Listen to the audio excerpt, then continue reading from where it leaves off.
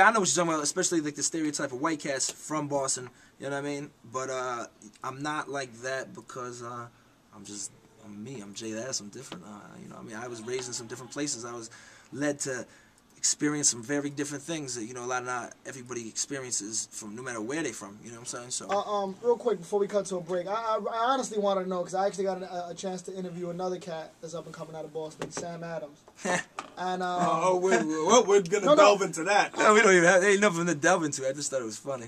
But I mean, go on though. well, I got a chance to interview him. He seemed like a like a pretty cool kid, Yeah, I don't and know. um, it seems like no one has really bursted out of Boston since I mean, rap has been in its like primary stages, Yeah. and, and, and and I mean, how, how does a cat like you growing up in that area or growing up in the Massachusetts area?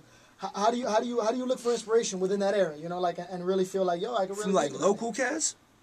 in in in that that area. I mean, you know, when I was younger, you know, before I was taking it seriously, like you know, just seeing, knowing like local rappers in Boston and seeing them, or, or just seeing them on TV or seeing them at you know at shows and venues in Boston, hearing them, it was cool and you always liked it, you know, and there was some that you would rock to and some you just didn't, but you'd always hope they would get bigger, but no one really. I mean, you had like Edo, Ed O.G, you know what I'm saying, and and, and like I mean, Guru, rest in peace. Although he didn't really represent Boston in his music very much at all, but uh, and then you know, uh, you had like the R- RSO and that was all like really early. Yeah, all that was really early '90s, you know. And you then you had like a bunch of underground cats that killed it in the late '90s and early thousands, really. But like that was a very you know different lane.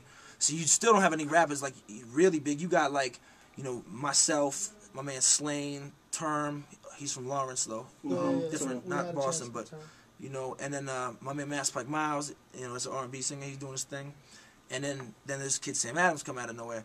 But um, other than that, there isn't a lot of kids, and even bigger than that though. You know what I'm saying? And so there isn't really anything to look up to. You just got to look up to what you want to do in terms of your dreams and aspirations.